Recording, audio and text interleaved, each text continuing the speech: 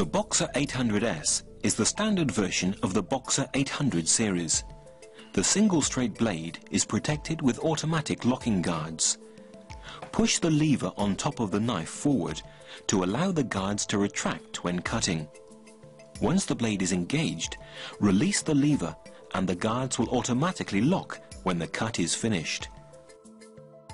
Flick, clear, cut.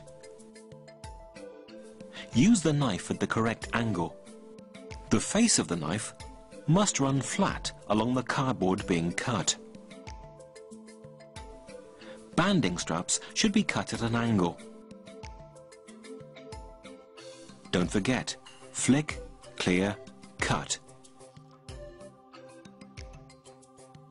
To change the blades, turn the release button to the open position so that it pops up. Separate the two knife halves by holding the bottom half with the forefinger and pushing the top half with the thumb. Reverse or replace the blade and slide the two knife halves back together. Push the release button back into the knife and then turn it back to the closed position.